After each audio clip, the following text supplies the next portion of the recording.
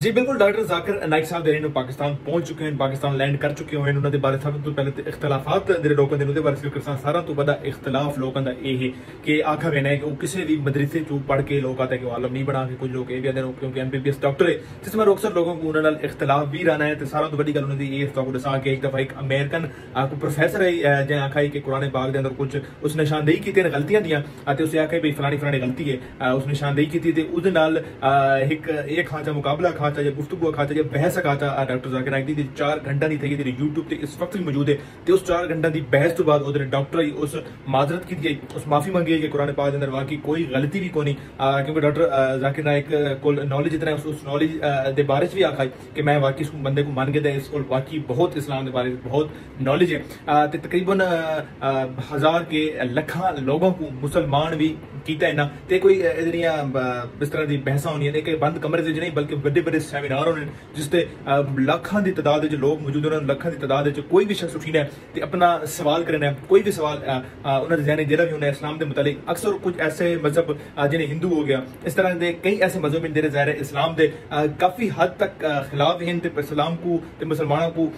ਜਿਹੜਾ ਉਹ ਦਹਿਸ਼ਤਗਰਦ ਤੇ ਕੁਝ ਇਸ ਤਰ੍ਹਾਂ ਦਾ ਉਹ ਆਪਣੇ ਜ਼ਿਹਨ ਵਿੱਚ ਇੱਕ ਇਮੇਜ ਉਹਨਾਂ ਕ੍ਰੀਏਟ ਕੀਤਾ ਹੋਇਆ ਉਹ तमाम ਇਮੇਜ ਕ੍ਰੀਏਟ ਦੇ रखियां हुआ उसको भी खत्म किया है डॉक्टर जाकिर नायक काफी हद तक क्योंकि इंडिया ਦੇ ਵਿੱਚ ਬਹੁਤ ਜ਼ਿਆਦਾ ਸੈਮੀਨਾਰ ਦੇ ਰਹੇ ਨੇ ਅਟੈਂਡ ਕੀਤੇ ਤੇ ਬਹੁਤ ਜ਼ਿਆਦਾ ਉੱਥੇ ਅਗਰ ਗੱਲ ਕੀਤੀ ਉਹਨਾਂ ਕਿ ਕਾਫੀ ਪੰਡਿਤ ਦੇ ਰਹੇ ਨੇ, ਉਹਨਾਂ ਦੇ ਨਾਲ ਵੀ 1 ਟੂ 1 ਬਾ ਕੇ ਉਹਨਾਂ ਜਿਹੜੀ ਹੈ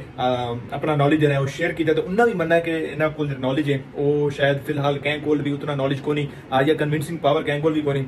ਇਸੇ ਐਸੇ ਕਰਕੇ ਜਿਹੜੀ ਉੱਥੋਂ ਦੀ ਸਰਕਾਰ ਹੈ, ਉਹਨਾਂ ਇਸ ਤੇ ਕਾਫੀ ਐਫ ਆਈ ਆਰਾਂ ਵੀ ਦਿੱਤੀਆਂ, ਕਾਫੀ ਪਰਚੇ ਵੀ ਦਿੱਤੀਆਂ। ਉਹਨਾਂ ਨੂੰ ਲੱਗਦਾ ਹੈ ਕਿ ਇਹ ਤਮਾਮ ਹਿੰਦੂਆਂ ਨੂੰ ਮੁਸਲਮਾਨ ਕੀਤੀ ਵੀ ਨਾ, ਕੀਤੀ ਵੀ ਨਾ, ਕੀਤੀ ਨੇ। ਤੇ ਉਸ ਨੂੰ ਰੋਕਵਾਂ ਇਸ ਗੱਲ ਤੋਂ ਉਸ ਤੋਂ ਬਾਅਦ ਕਾਫੀ ਕੇਸ ਵੀ ਭੁਗਤੇ ਨੇ ਇੰਡੀਆ ਦੇ ਵਿੱਚ।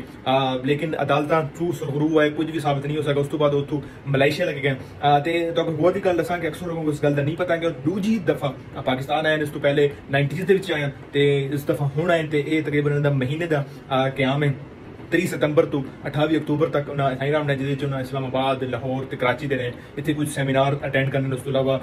ਕੁਝ ਸਿਆਸੀ ਸ਼ਖਸੀਅਤ ਕੋ ਮਿਲਣਾ ਤੇ ਕੁਝ ਹੋਰ ਦੇ ਉਹਨਾਂ ਦੀ ਆਪਣੀ ਹੋਸਨ ਉਹਨਾਂ ਕੋ ਮਿਲਣਾ ਹੈ ਹਕੂਮਤ ਦੀ ਖਾਸ ਇਹਨਾਂ ਕੋ ਰਾਕਾ ਬਣਾ ਕੇ ਹਕੂਮਤ ਦੀ ਖਾਸ ਇਹਨਾਂ ਕੋ ਸਦਾ ਗਿਆ ਇਹਨਾਂ ਕੋ ਇਨਵੀਟੇਸ਼ਨ ਦਿੱਤਾ ਗਿਆ ਉਸ ਤੋਂ ਬਾਅਦ ਉਹ ਇੱਥੇ ਪਾਕਿਸਤਾਨ ਆਏ ਤੇ ਪਾਕਿਸਤਾਨ ਤਕਰੀਬਨ ਜਿਹੜਾ ਉਹ ਮਹੀਨੇ ਦਾ ਇਹਨਾਂ ਦਾ ਕਿਆਮ ਹੈ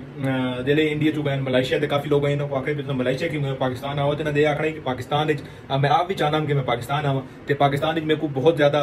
मुहब्बत भी मिलनी गई बहुत ज़्यादा प्रोटोकॉल भी मिलना लेकिन अगर मैं डायरैक्ट इंडिया तो थे तो उस तो बाद उन्होंने दा रही मेरे बारे है कि मुसलमानों के बारे च है कि मुसलमान दहशत गर्द हैं तो मुख्तलिफ़ इस तरह का अगर मैं डायरैक्ट पाकिस्तान आवा तो उन्होंने लगे कि ये बाकी पाकिस्तानी इदारा की तरफों प्लांटेड को बंदा है जेड़ा इतने खास मिशन के तहत आई, इस मैं डायरैक्ट पाकिस्तान आया, मलेशिया लगा गया, उत्थे